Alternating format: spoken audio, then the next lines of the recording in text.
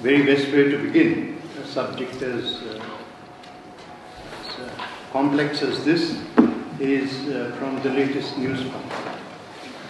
The latest news point has been the,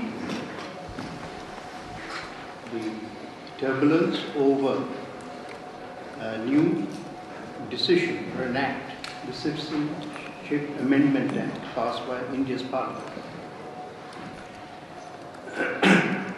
There are some wounds in a nation's life which continue to drip long after the event itself.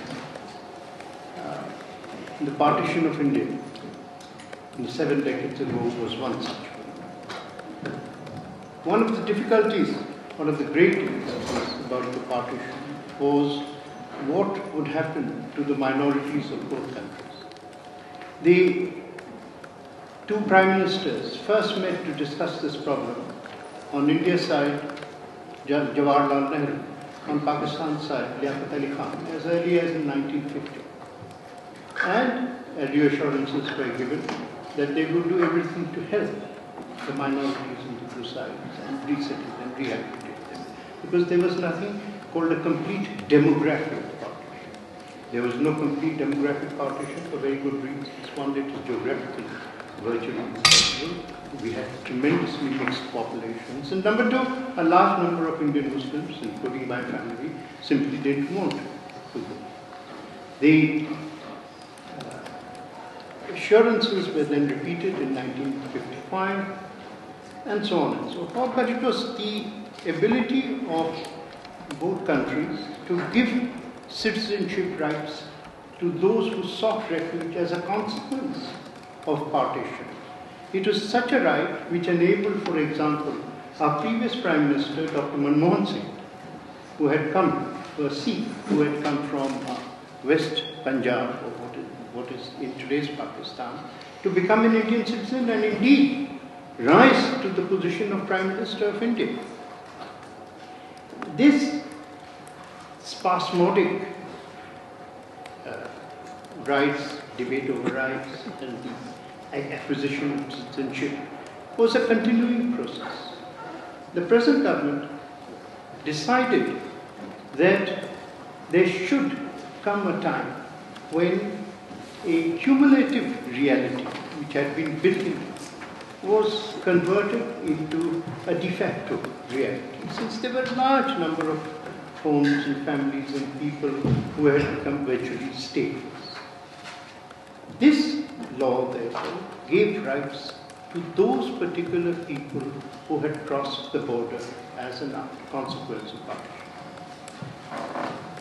You must remember that there was never any debate about giving this right. Previous governments had given this right to previous claimants, and indeed, nobody ever thought of this as a controversy. As I said, Dr. Manmohan Singh himself had been one of the At no point, because of this law, was an Indian Muslim, I repeat, I am an Indian Muslim, ever denied his rights living in India. There was no re reduction in his existing rights as a citizen and as an equal citizen. There was a slight difference, not a slight, sorry, a major difference between the experience of minorities in India and minorities in Pakistan. Because in India we had a secular, we had a constitution as early as 1950 and the constitution was a secular constitution which gave equality, freedom, and equal rights to everybody, irrespective of religion. We are all equal in India. And indeed, if you want to see the equality of India, those of you who have been to India, and those who I am uh, going to eagerly suggest that you go to India as soon as possible, very few places better for a holiday. Uh, one of the things that you should go when you reach Delhi is not just see the avenues and the monuments, but go and see living India. Go to Old Delhi. And you may go there at 4 in the morning, go at 4.30 in the morning and you'll find something marvelous. You'll find that every day, every morning begins with the azan from the old mosque. And it is followed closely by the bells of the Hanuman temple followed closely by the recitation of the Gurdwara, which is all of them within the vicinity of Cheetah, and in Sundays by the peal of church bells from St. Stephen's Church. It's, nobody created it. It is part of the evolutional, civilizational harmony, harmony that has always been the most important part of our country. And therefore, there has never been a question of any person's rights being taken away or diminished or altered in any way, certainly not the 200 uh, million, 200 million Indian Muslims still living there. The, the problems that arose, you must remember that uh, this was put in the manifesto of the party, that this would happen. Not during the whole election campaign, no one from the Congress party or any opposition party ever raised this as an issue. I was sitting in Parliament and passing this law. There was hardly virtually any debate on this issue, much to our regret. Uh, after the law had been passed, a certain campaign was carried out which misled, misled unfortunately, our uh, Muslim brothers and sisters on this subject. It was part, I'm afraid to say, of uh, uh, a campaign of uh, disinformation which uh, succeeded in raising fears. But it is, that is part of democracy. We are a proud democracy. We engage, we talk to our Muslim brothers and sisters, say that their fears are completely unfounded.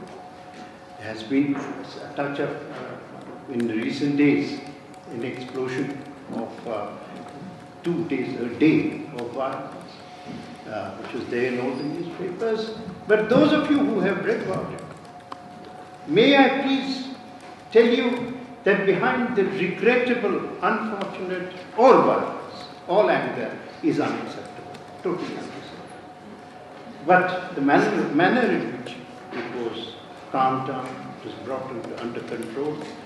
But I think even in the midst of this misfortune, you saw, those of you who have eyes can go and see, even here we saw marvelous instances of the two communities, Hindus and Muslims, helping each other, giving shelter, giving protection, reaching out to each other. Ordinary reaching out to each other.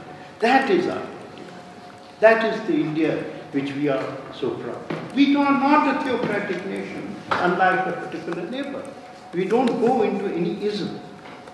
Our only ism is democracy and equality and the fraternity of others. And as Gandhi, Mahatma Gandhi, the father of our nations, in every respect, uh, we are in the midst of uh, celebrating 150th year, year of his birth. But Gandhiji, what he said remains true, that Hindus and Muslims are one. God has made them one and man cannot drive, or, you know, drive them apart. That is our philosophy. That is the truth of our India. And I know that very surreptitiously, surreptitiously the chair is uh, slowly moving towards me to telling me that he has certainly had enough of my intervention. I don't know about you, but uh, I'll leave it for the moment at that. Uh, any questions later, we shall uh, take. Thank you.